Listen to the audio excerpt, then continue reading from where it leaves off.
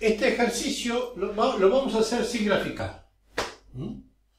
Me dice que la hipérbola tiene, es la ecuación de una hipérbola que tiene centro en el origen y que estos dos puntos, el 3,1 y el 9,5, pertenecen a la hipérbola. O sea, son dos puntos que pertenecen a esta curva. Lo que no me dicen es cómo está el eje transversal, si horizontal o vertical. Así que yo no puedo alegremente elegir uno y olvidarme del otro. Vamos a suponer que el eje está horizontal, o sea que la ecuación de la elipse será de esta forma.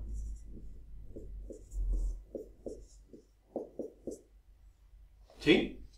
Si yo supiera cuánto vale a cuadrado y cuánto vale b cuadrado, listo. Bueno, vamos a aplicar eso y después veremos cambiando la ubicación del signo. A ver si es posible o no. Tener una segunda hipérbola, o sea, una sería una hipérbola así, al final termina siendo el dibujo, y la otra sería con el eje vertical. Pero no me preocupa eso. Vamos a ver de meter las ecuaciones de este punto acá. Me queda 3 al cuadrado sobre a cuadrado menos 1 al cuadrado sobre b cuadrado igual a 1. Eso es con este punto. Y ahora con este. 9 al cuadrado sobre a cuadrado menos 5 al cuadrado sobre b cuadrado es igual a 1. Y esto es un sistema de ecuaciones. Yo voy a hacer un pequeño cambio, ahora van a ver un cambio de variables para que sea mucho más ágil. Es una cuestión de experiencia y de práctica. Saber que se puede hacer eso y hacerlo sin mayores inconvenientes. Miren cómo voy a escribir esto. Voy a poner 9 por 1 sobre a cuadrado menos 1 por 1 sobre b cuadrado igual a 1. Esta de acá abajo será 81 por 1 sobre a cuadrado menos 25 por 1 sobre b, perdón, 1 sobre b cuadrado. todo igual a 1. A esto lo voy a llamar alfa, o sea, alfa va a ser 1 sobre a cuadrado y beta va a ser 1 sobre b cuadrado. Entonces, el sistema de ecuaciones queda 9 alfa menos 1 beta igual a 1.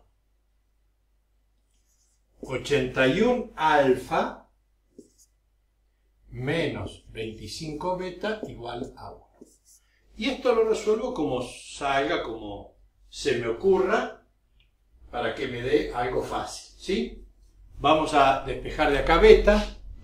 Beta es igual a 9 alfa menos 1, despejando beta, Reemplazando acá me queda 81 alfa menos 25 por 9 alfa menos 1 igual a 1. 81 alfa menos 25 por 9 son 225 alfa y esto por esto más 25 igual a 1. ¿Mm?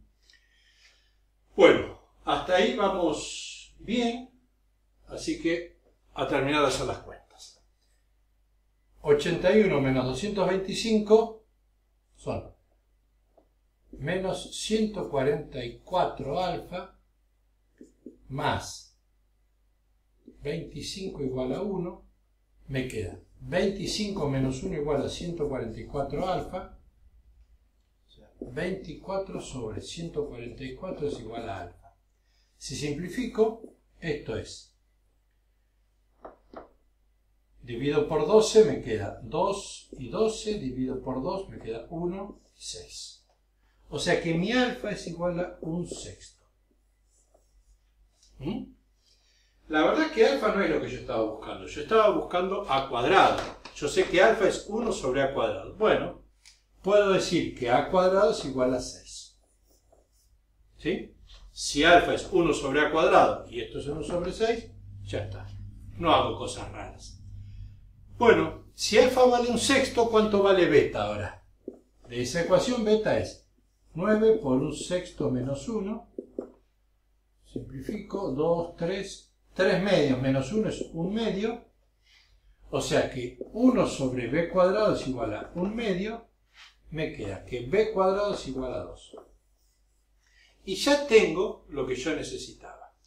a cuadrado y b cuadrado. Quiere decir que la ecuación de la hipérbola será x cuadrado sobre 6 menos y cuadrado sobre 2 igual a 1. Ahora, ¿habrá una hipérbola así que también pase por esos puntos? Centrada y que pase por esos puntos. Tendría que ver de hacer ese planteo a ver a qué se llega. Yo lo voy a hacer ahí y vamos a ver si existe o no existe. Por ahora tenemos esta solución. Bueno, si la hipérbola tiene eje vertical, será y cuadrado sobre b cuadrado menos x cuadrado sobre a cuadrado igual a 1. Hago una sustitución similar a esta, ¿ven? A esta de acá. Y me queda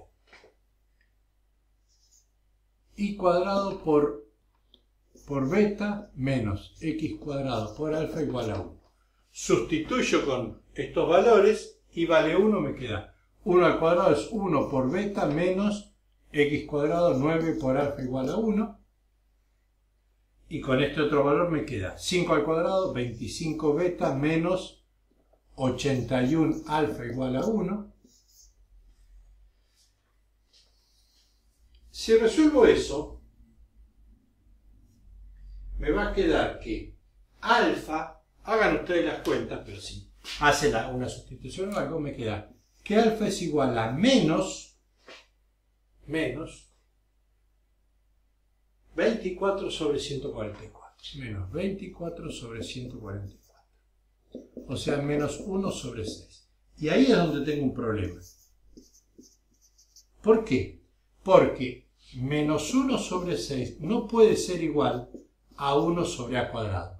Porque esto es mayor que 0. Mayor, perdón, mayor que 0. ¿Mm? A cuadrado sí o sí es mayor que 0. A es mayor que 0, así que 1 sobre a cuadrado también. Quiere decir que si yo resuelvo esto y llevo este valor, no voy a llegar jamás a la ecuación de una hipérbola de este tipo. O sea, la única solución es esta.